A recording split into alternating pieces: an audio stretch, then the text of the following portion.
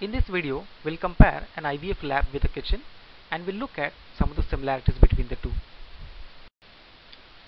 Well, as we all know, a great restaurant is identified by the quality of food they serve to their customers and for that, the restaurant should have a good kitchen with all the amenities in it which will help them prepare and serve high quality food for their customers. Similarly, a good IVF lab will have a world-class IVF laboratory, state-of-the-art IVF laboratory with all the required equipment in it to produce top quality embryos for their patients and help them get pregnant. A kitchen will have a chef in it. A chef is a skilled cook who manages the kitchen, uses all his skills to prepare delicious food for the customers of that restaurant. Similarly, the IVF lab will have an embryologist. Embryologist is a skilled reproductive biologist who manages the IVF lab, uses all his skills to create embryos using the eggs and the sperms of infertile patients and help them get pregnant. There are a lot of recipes in the kitchen.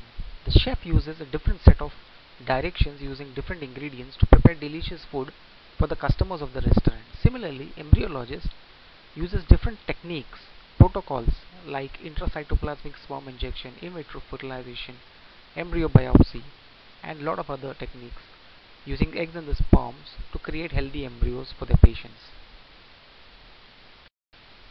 The embryo culture media in the IVF lab has all the nutrients in it which nourishes the embryo all throughout 5 days of culture and help them grow well and eventually convert into a healthy embryo and a healthy baby after implantation upon transfer of the embryos. So if we compare culture media with a dish in the kitchen, it's like a chicken soup. So the culture media in the IVF lab acts like a chicken soup for the embryos. Now we usually see an oven in the kitchen. The oven in the kitchen is used to bake and cook food to prepare delicious food. Similarly, an IVF lab will have a CO2 incubator. The CO2 incubator is heart of the IVF lab. It's a place where the embryos sit all throughout the 5 days of culture before they are transferred back into the uterus. It's important to keep the kitchen clean, do a pest control to keep the pests away which can spoil the food and also ensure proper functioning of all the equipments like oven and other stuff which will help the chef to prepare high quality food. Similarly, it's important to have proper quality control in the IVF lab which will ensure proper functioning of all the equipments.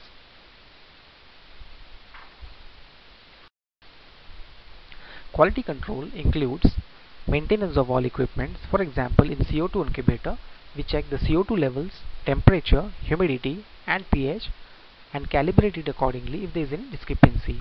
We also check temperature of other equipments like microscope stage warmer, test tube warmer and make sure that all these equipments are at 37 degrees Celsius all throughout. Similarly, maintaining proper air quality is also very important. That's why it is mandatory to have air purification system which will ensure good air quality in the laboratory as poor air quality will have an effect on the embryo growth.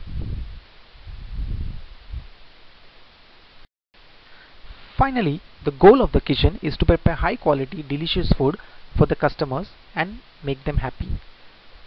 Similarly, the goal of the IVF lab is to create top quality embryos, healthy embryos for their patients and help them get pregnant and eventually have a healthy baby.